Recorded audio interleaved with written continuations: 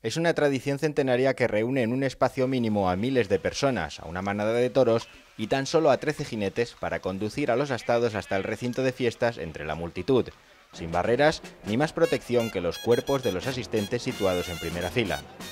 Es la entrada de toros de Segorbe, un espectáculo taurino singular y que comparte con el San Fermín Pamplónica la categoría de fiestas de interés turístico internacional desde 2005. Bueno, pues es tan importante porque desde 1386 se viene celebrando. Eh, es importante porque hoy en día es una de las tradiciones más antiguas que conserva el pueblo y que lógicamente en estos últimos años se ha potenciado y actualmente es la tarjeta de presentación de la ciudad de Segorbe en su promoción. No podemos olvidar que solamente el encierro de los Sanfermines y el de Segorbe tienen el carácter de, encierros internacional, de, digamos el galardón que concede en este caso el Ministerio o la, Secretaría General de Turismo de fiesta de interés turístico internacional. Evidentemente las medidas de seguridad para un evento como este no son pocas. Pues en primero y principal es que estén en condiciones, que eso es muy importante. Luego que sepan lo que es un toro y un caballo y el peligro que conlleva la fiesta. Luego, pues a la marcha es que se hagan los toros, no tiene por qué pasar nada, pero y intentar los caballistas recogerlos como, como podemos.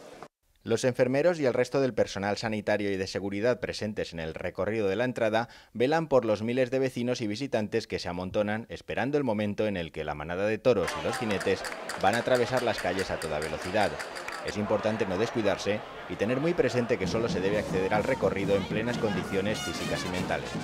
Pues el dispositivo que hemos montado arreglo al plan de seguridad que tiene el Festejo de Segorbe son seis ambulancias asistenciales, una UBI móvil, el hospital de campaña preparado como tal y un centro móvil de coordinación para que las comunicaciones entre nosotros sean fluidas. A pie de calle, bueno. Venir pronto y poder aparcar. Eso, fundamental.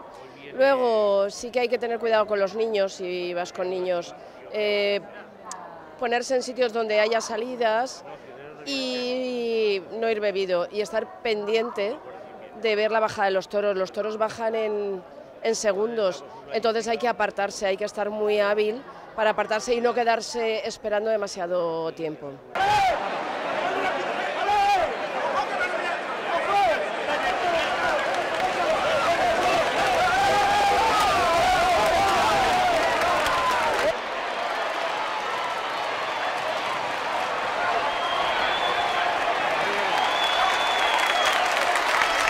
Un día, un año más, la entrada ha sido un éxito y no se han producido incidentes.